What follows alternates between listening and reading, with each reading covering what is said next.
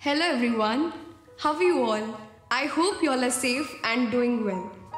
So today I'm gonna tell you all a life related incident, especially for those who depend on other people's opinion.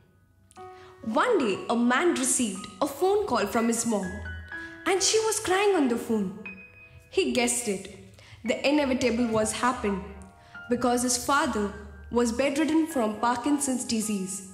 He knew obviously his father had passed away. So he went for the cremation. His father's body was on stage.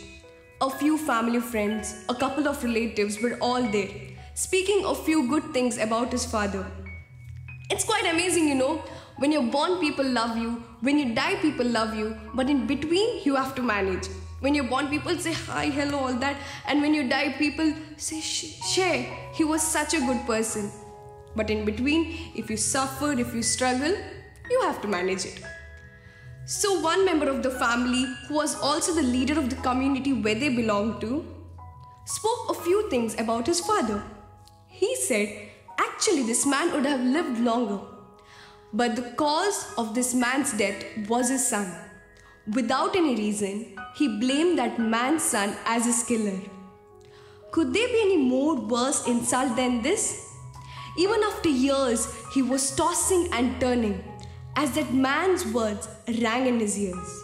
His emotional state had been disturbed, and you know, when your emotional state is disturbed, you can't sleep, you can't do anything.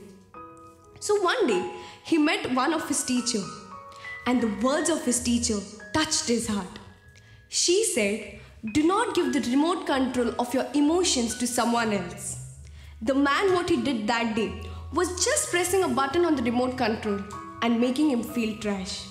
So, my dear friends, always remember people's opinion of you is none of your business, nor you should make it yours. You get into a lot of trouble worrying about what others think about you, whether they are wrong or right. What difference does it make? The majority of people who have negative point of view, they don't even know you.